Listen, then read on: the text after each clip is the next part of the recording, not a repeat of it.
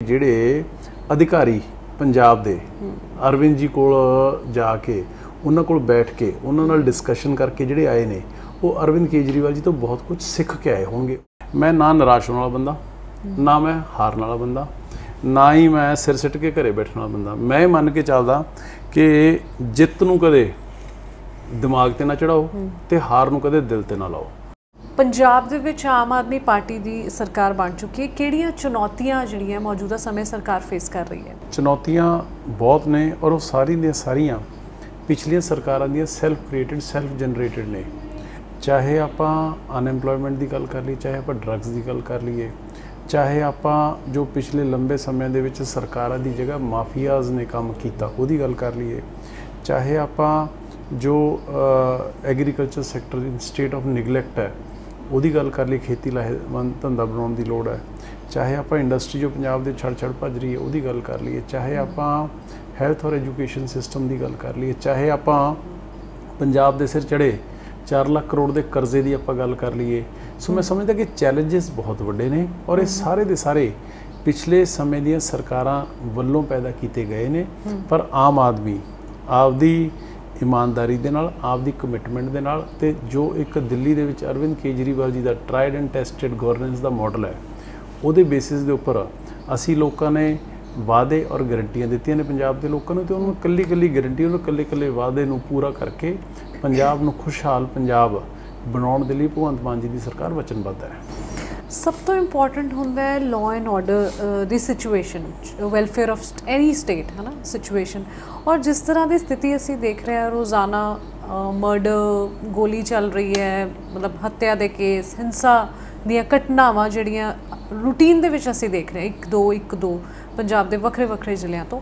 ਸੋ ਇਸ ਨੂੰ ਲੈ ਕੇ ਸਰਕਾਰ ਕੀ, ਮਤਲਬ ਪਹਿਲ ਕਦਮੀ ਅਪਣਾ ਰਹੀ ਹੈ ਕਿ ਇਸ ਚੀਜ਼ ਤੇ ਰੋਕ ਲਗਾਈ ਜਾ ਸਕੇ। ਦੇਖੋ ਮੈਂ ਤੁਹਾਡੀ ਗੱਲ ਦੇ ਨਾਲ ਸਹਿਮਤ ਹਾਂ ਕਿ ਸਭ ਤੋਂ ਪਹਿਲਾਂ ਸੇਫਟੀ ਆਪਣੀ ਔਰ ਆਪਣੇ ਪਰਿਵਾਰ ਦੀ ਹਰੇਕ ਬੰਦੇ ਲਈ ਪੈਰਾਮਾਉਂਟ ਇੰਪੋਰਟੈਂਸ ਦੀ ਹੈ। ਮੈਂ ਇਹਦੇ ਨਾਲ ਨੋ ਡਾਊਟ ਪਿਛਲੇ ਦਿਨਾਂ ਕੁਝ ਦਿਨਾਂ ਦੇ ਵਿੱਚ ਇਸ ਤਰ੍ਹਾਂ ਦੇ ਇਨਸੀਡੈਂਟਸ ਹੋਏ ਵੀ ਨੇ।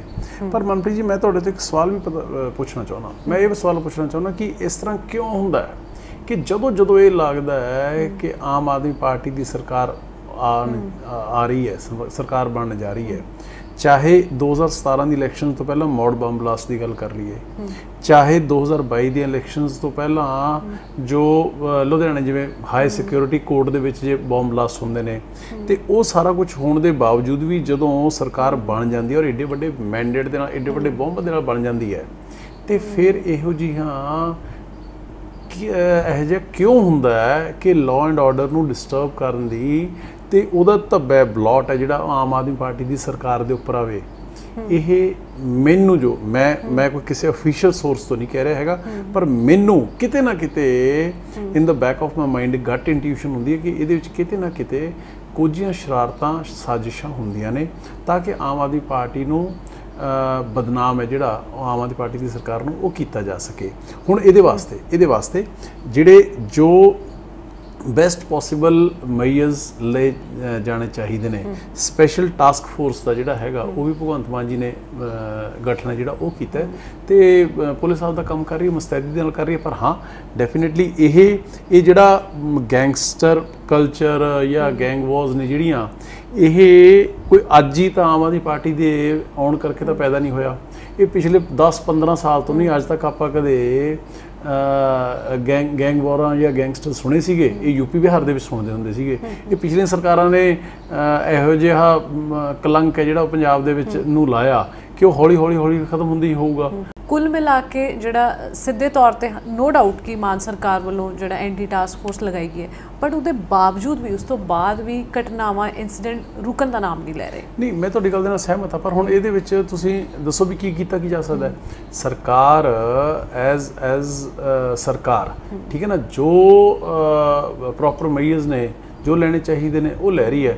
ਹੁਣ ਜੇ ਕੋਈ ਇਸ ਤਰੀਕੇ ਦੇ ਇਨਸੀਡੈਂਟ ਹੋ ਰਹੇ ਨੇ ਦੇਖੋ ਪਤਾ ਗੱਲ ਕੀ ਹੈ ਇਹ ਇਹਨਾਂ ਚੀਜ਼ਾਂ ਦੀ ਗਹਿਰਾਈ ਦੇ ਵਿੱਚ ਜਾਣ ਦੇ ਵਿੱਚ ਨਾ ਜੀ ਜਦੋਂ ਵੀ ਕੋਈ ਨਵੀਂ ਡਿਸਪੈਂਸੇਸ਼ਨ ਆਉਂਦੀ ਥੋੜਾ ਟਾਈਮ ਤਾਂ ਲੱਗਦਾ ਹੈ।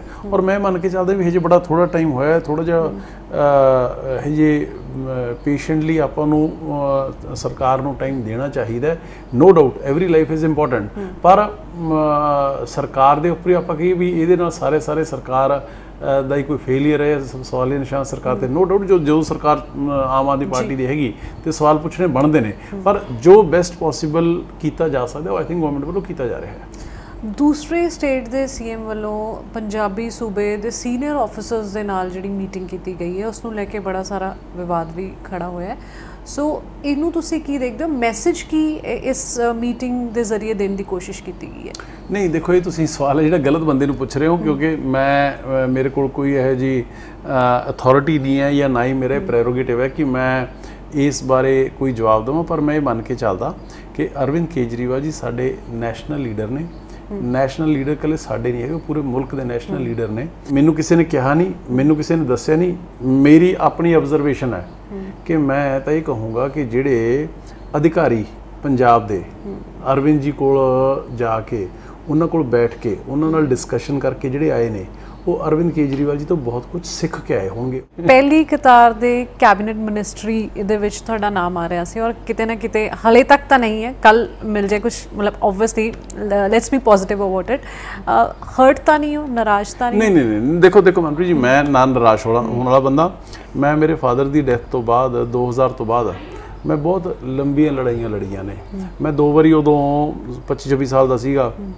ਦੋ ਵਾਰੀ 2000 ਦੇ ਵਿੱਚ 2002 ਦੇ ਵਿੱਚ ਟਿਕਟ ਮੰਗੀ।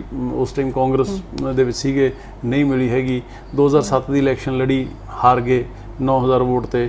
2012 ਦੇ ਇਲੈਕਸ਼ਨ ਲੜੀ ਹਾਰ ਗਿਆ 4000 ਵੋਟ ਤੇ।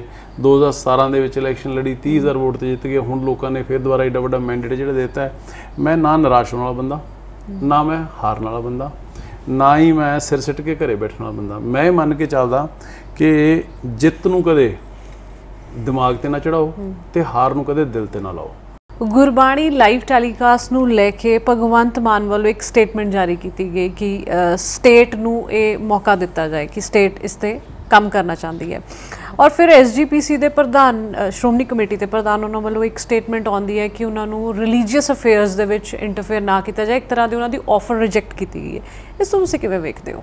ਦੇਖੋ ਮੈਨੂੰ ਤਾਂ ਇਹ ਸਮਝ ਨਹੀਂ ਆਉਂਦੀ ਹੈਗੀ ਕਿ ਕੀ ਗੁਰਬਾਣੀ ਗੁਰੂਆਂ ਦੀ ਬਾਣੀ ਦੇ ਉੱਪਰ ਕਿਸੇ ਦਾ ਕੋਈ ਕਾਪੀਰਾਈਟ ਹੱਕ ਹੋ ਸਕਦਾ ਹੈ। ਉਹ ਸਰਬੱਤ ਦੇ ਭਲੇ ਲਈ ਹੈ ਉਹ ਸਾਰੀ ਕਾਇਨਾਤ ਦੀ ਹੈ।